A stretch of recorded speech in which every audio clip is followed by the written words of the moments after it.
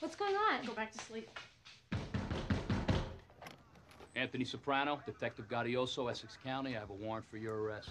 For what? Are you Anthony Soprano? Would you bring the whole county with you? We don't take any chances when it concerns an illegal firearm containing hollow point ammunition. What?